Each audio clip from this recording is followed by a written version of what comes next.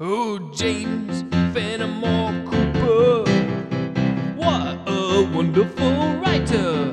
He wrote very, very good books. Oh, yes, he did. James Fenimore Cooper, he was a wonderful writer, man.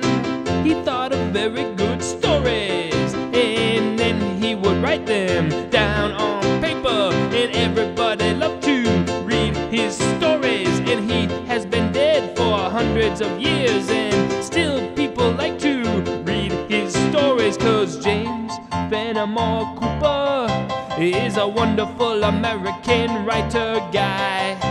He wrote very, very good books, and people like to read them because they are good. Oh, James Fenimore Cooper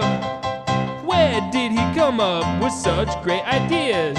How did he get to be so darn brilliant? He is such a wonderful guy. Oh, oh.